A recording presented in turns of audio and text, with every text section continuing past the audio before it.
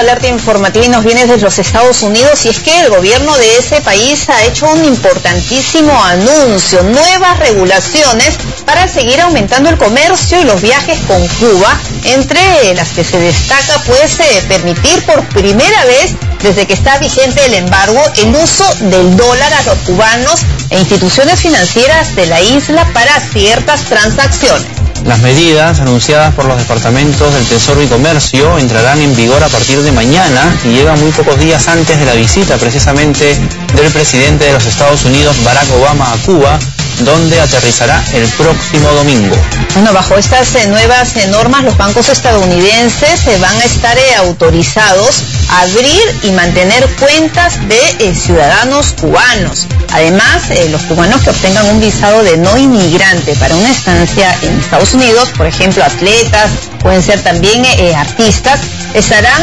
autorizados a cobrar un sueldo o compensación. En cuanto a las regulaciones sobre viajes, por primera vez se permitirán las visitas individuales de estadounidenses a Cuba con fines educativos sin necesidad de formar parte de un, grupo, de un grupo como ocurría hasta ahora. Realmente importantes eh, anuncios que se dan pues días eh, antes de la histórica visita del presidente Barack eh, Obama que pues se va a realizar a partir del próximo domingo a la isla.